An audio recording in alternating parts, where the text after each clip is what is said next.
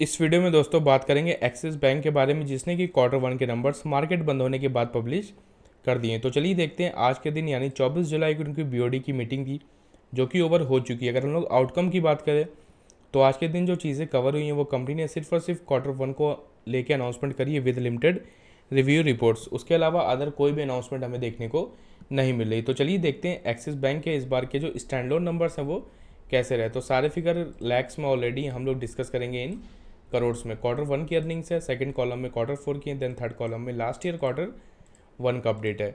तो पहले बात करते हैं बैंक की मेन इनकम की, जो कि होती है इंटरेस्ट अर्न यानी कि कितना इंटरेस्ट कमाया, जो कि साल दर साल ट्वेंटी फाइव थाउज़ेंड करोड़ से थर्टी थाउज़ेंड पे आ गया quarterly twenty nine thousand two twenty four से थर्टी थाउज़ेंड सिक्सटी करोड़ पे। तो quarter on quarter plus year on year basis दोनों ही जगह इंटरेस्ट वाली इनकम बढ़ी है। आप सारी इनकम्स को एड ऑन करेंगे तो आएगी टोटल इनकम जो कि थर्टी थाउज़ेंड से थर्टी फाइव पे आ गई और quarterly thirty five thousand nine ninety थी, वो इस बार thirty five thousand eight forty four पे आ गई। तो total income quarter on quarter थोड़ी सी कम रही बट साल दर साल बेसिस पे अगर आप देखेंगे तो काफ़ी अच्छा जंप इस बार देखने को मिल रहा है। देन अगर डिस्कस करें टोटल एक्सपेंडिचर्स यानी कि खर्चे बैंक के, जो कि अगर आप देखेंगे तो ट्वेंटी वन थाउज़ेंड करोड़ के एक्सपेंसेस थे लास्ट ईयर क्वार्टर वन में, वो इस बार ट्वेंटी फाइव पे आ गए।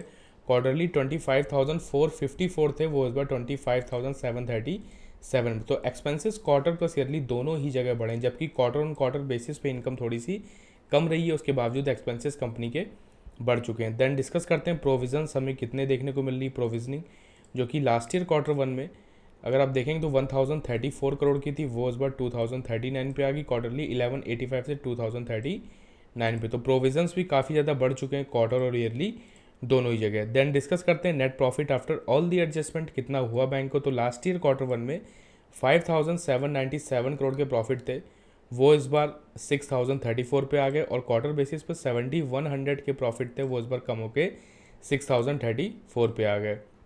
तो क्वार्टर ऑन क्वार्टर एक बड़ी गिरावट है प्रॉफिट्स में और साल दर साल एक ग्रोथ हमें देखने को मिल रही है। मार्केट एस्टिमेट की बात करें तो प्रॉफिट को लेके जो अनुमान लगाया गया था, वो six thousand five hundred ten crore का लगाया गया था, जो कि वहाँ से अगर आप देखेंगे तो प्रॉफिट्स आपको कम देखने को मिल रहा है। तो मार्केट एस्टिमेट को नंबर्स बिल्कुल भी बीट नहीं कर पाए और क्वार्टर ऑन क्वार्टर भी गिरावट है और साल दर साल एक ग्रोथ देखने को मिल रही सेम रिफ्लेक्शन ईपीएस में ईयरली प्रॉफिट बढ़े तो ईपीएस भी 18.83 से 19.54 पे आ गया। क्वार्टरली 23 से कम होकर 19 क्योंकि क्वार्टरली प्रॉफिट कम रहे कंपनी के। देन डिस्कस करते हैं net N P in rupees में, जो कि 3700 से 35 पे आ गया। क्वार्टरली 32 से 35 पे। तो क्वार्टर ऑन क्वार्टर तो एनपीए बढ़ा है बैंक का बट साल दर साल एनपीए कम होता हुआ देखने को मिल रहा है। देन डेट इक्विटी रेशियो की बात करें, जो कि ईयरली बेसिस और क्वार्टर ऑन क्वार्टर दोनों जगह कम हुआ 1.31 लास्ट ईयर था क्वार्टर फोर में 1.31 और इस बार 1.2 ज़ीरो तो ओवरऑल दोस्तों, ये थे एक्सिस बैंक के नंबर जो कि मार्केट एस्टिमेट को बिल्कुल भी बीट नहीं कर पाए। तो मोस्ट प्रोबेबली मार्केट का एक नेगेटिव रिएक्शन होगा इस पर और शेयर प्राइस में गिरावट आ सकती है। तो आपके पास एक्सिस बैंक के कितने शेयर्स हैं कमेंट बॉक्स में बिल्कुल बताएँ। तो मिलते हैं किसी और वीडियो में, किसी और अपडेट के साथ। तब तक के लिए बाय बाय